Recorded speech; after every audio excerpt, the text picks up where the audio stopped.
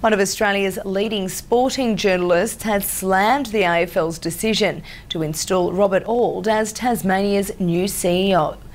On Win's Footy Classified last night, Caroline Wilson used her editorial segment to publicly criticise the appointment.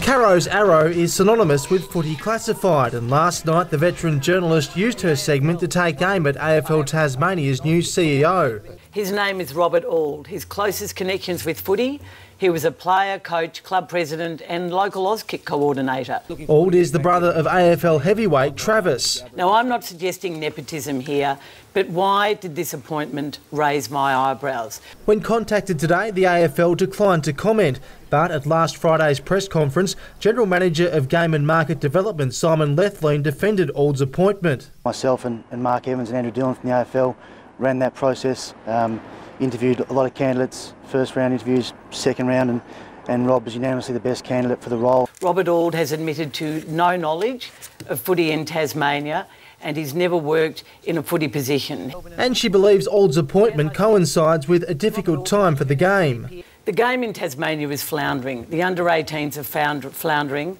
The Tasmanian Footy Council has been without a general manager for months, ditto the state league in Tasmania. Despite publicly criticising the appointment, the multiple Walkley Award winning journalist says he may prove her wrong. Maybe a fresh set of eyes was required, and maybe Robert Auld is going to turn out to be a mixture of Brian Cook, David, David Stern, and Pierre de Coubertin rolled into one. But for now, she just isn't convinced. But why do I get the feeling that the AFL has shafted Tasmania once more? Auld will begin his tenure as CEO next month.